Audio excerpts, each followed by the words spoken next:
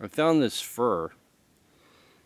When I found this hair or whatever this is, there are these really fine uh, red fiber, translucent fiber hairs in here. When I found this, it was a uh, stretched out in a straight line, like something was uh, moving quickly over a culvert and it got its hair stuck on a branch and it kept on moving and it pulled the hair off of its body, whatever this is. And um, it didn't look like this. It wasn't a big clump like this. It was actually a straight line when I found it. And I do not know what this is. Uh, most of the bears out here are black. I've never seen any brown bears with this fur is actually long.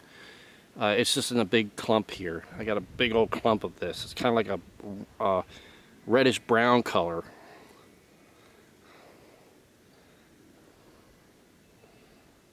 Um, I've heard that the skunk ape or Bigfoot, whatever you call it out here, is a reddish brown color. This could be it.